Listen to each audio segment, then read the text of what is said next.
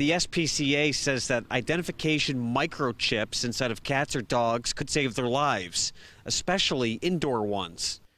The small chips contain the owner's contact information and it's placed under the dog or cat's skin. Soon, the Erie County SPCA will equip all of the rescue trucks with the chip readers.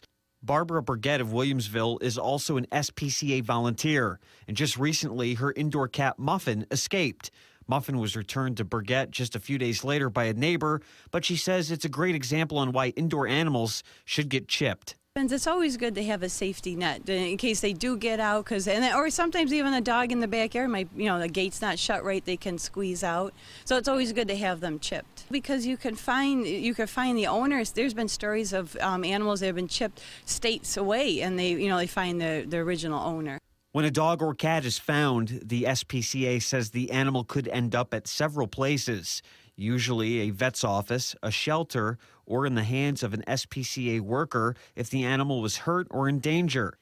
And if the cat or dog ends up in certain shelters, if no owner can be found, they could be euthanized after several days.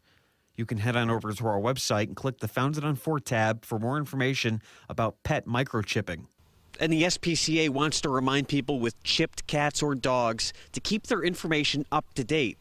Reporting in Williamsville, Nick Quattrini, News 4.